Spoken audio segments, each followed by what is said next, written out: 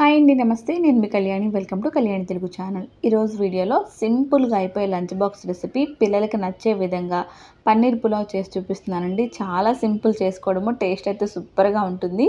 ఈ పన్నీర్ పులావ్ చేసుకోవడానికి ముందు ఒక మిక్సింగ్ బౌల్లోకి ఒక గ్లాస్తో గ్లాస్ నిండా బాస్మతి రైస్ వేసుకోండి. నీళ్ళు పోసుకుని ఒక రెండు సార్లు శుభ్రంగా కడగండి. కడిగిన నీ బియ్యంలోకి మళ్ళీ వాటర్ పోసుకుని మూత పెట్టేసి ఒక అరగంట సేపు పక్కన పెట్టుకోండి నానబెట్టుకోవాలి. నేను బాస్మతి రైస్తో చూపిస్తున్నాను. మీ దగ్గర లేకపోతే నార్మల్ రైస్తో కూడా చేసుకోవచ్చు. ఈ లోపల పన్నీర్ తీసుకోండి. నేను ఇక్కడ టూ హండ్రెడ్ గ్రామ్స్ తీసుకున్నాను. ఈ విధంగా మీడియం సైజ్ ముక్కలు కట్ చేసుకుని పెట్టుకోండి. ఇందులోకి కొద్దిగా కారం పసుపు ఉప్పు వేసుకుని ఈ ఉప్పు కారం పసుపు మూడు ముక్కలకి బాగా పట్టేంత వరకు కలుపుకోండి. ఈ ముక్కల్ని ఫ్రై చేసుకోవడానికి స్టవ్ ఆన్ చేసుకొని కడాయి పెట్టుకోనండి. ఇందులోకి ఆయిల్ పోసుకొని కాస్త వేడెక్కనివ్వండి. వేడెక్కిన తర్వాత మీరు మ్యాగ్నేట్ చేసుకుని పెట్టుకున్న పన్నీర్ ముక్కల్ని వన్ బై వన్ వేసేసుకోండి. లో ఫ్లేమ్లోనే ఫ్రై చేసుకోండి హై ఫ్లేమ్లో పెడితే మాడిపోతాయి. లో ఫ్లేమ్లో పెట్టుకుని ఫ్రై చేసుకోండి. ఒక పక్క వేగిన తర్వాత ఇంకొక పక్కకు టర్న్ చేసుకుని మంచి గోల్డెన్ కలర్ వచ్చేంత వరకు ఫ్రై చేసుకోండి. చూసారా? మంచి కలర్ వచ్చింది. ఇలా వేగితే సరిపోతుందండి. వీటిని ఒక ప్లేట్లోకి తీసేసుకొని పక్కన పెట్టుకోండి. ఇప్పుడు ఇదే స్టవ్ పైన కుక్కర్ పెట్టుకోండి. ఇందులోకి ఆయిల్ అలాగే నెయ్యి వేసుకోండి. వేడెక్కిన తర్వాత హోల్ స్పైసెస్ని వేసుకోండి.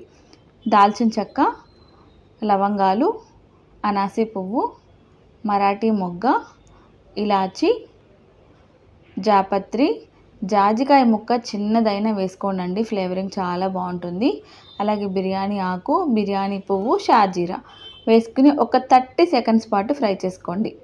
ఆ తర్వాత కట్ చేసుకుని పెట్టుకున్న ఉల్లిపాయ ముక్కలు పచ్చిమిరకాయ ముక్కలు వేసేసుకోండి. ఉల్లిపాయ మీడియం సైజ్ తీసుకున్నానండి. ఒకటైతే సరిపోతుంది. నేను తీసుకున్న రైస్ క్వాంటిటీకి. ఎక్కువ వేసుకుంటే మళ్ళీ తీపి ఎక్కువైపోద్ది. చూసుకుని వేసుకోండి. అలాగే ఉల్లిపాయ ముక్కలు వేగిన తర్వాత ఫ్రెష్గా నూరుకున్న అల్లం వెల్లుల్లి పేస్ట్ ఒక స్పూన్ వేసుకుని పచ్చివాసన పోయేంత వరకు ఫ్రై చేసుకోండి. ఆ తర్వాత ఇందులోకి వన్ బై వన్ స్పైసెస్ పసుపు ఉప్పు కారం ధనియాల పొడి జీలకర్ర పొడి ఫ్రెష్గా ఉన్న పెరుగు కప్పు వరకు వేసుకోండి. మంటను లో ఫ్లేమ్లోనే ఉంచుకొని ఇవన్నీ కూడా కాస్త దగ్గర పడేంత వరకు ఫ్రై చేసుకోండి. మీరు కావాలి అనుకుంటే కొద్దిగా టమాటా ప్యూరీ కూడా వేసుకోవచ్చు. అది మీ ఆప్షన్ నేనైతే వేయట్లేదు. ఇలా కాస్త దగ్గర పడిన తర్వాత కట్ చేసుకుని పెట్టుకునే కొత్తిమీర పుదీనా వేసుకుని కలుపుకొని మీరు ముందుగా నానపెట్టుకున్న బాస్మతి రైస్ని వేసేసుకోండి. బాస్మతి రైస్ వేసుకున్న తర్వాత ఒక రెండు మూడు నిమిషాల పాటు బాగా కలుపుకోండి ఇలా కలుపుకోవడం వల్ల బాస్మతి రైస్ ఉడికిన తర్వాత అన్నం పొడి పొడిగా ఉంటుంది. టేస్ట్ కూడా చాలా బాగుంటుంది. మెతుకు అనేది ఇరగకుండా ఉంటుంది.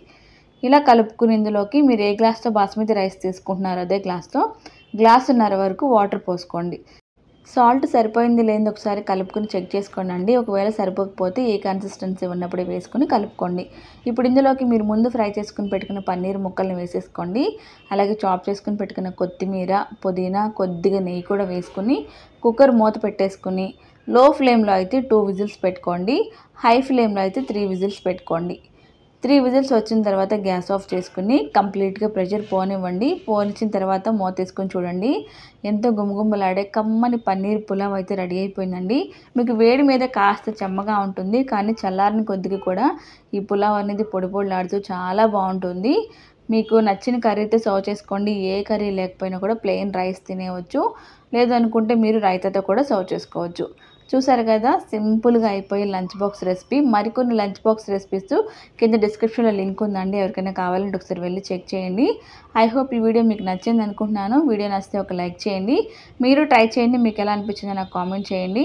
అలాగే ఇలాంటి రెసిపీస్ కావాలంటే మన ఛానల్ తప్పకుండా సబ్స్క్రైబ్ చేసుకోండి. Thank you.